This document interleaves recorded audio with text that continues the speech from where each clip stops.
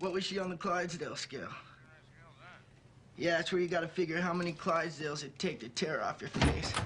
Yeah, I imagine it hurt. Later. Let's go. See? Yep.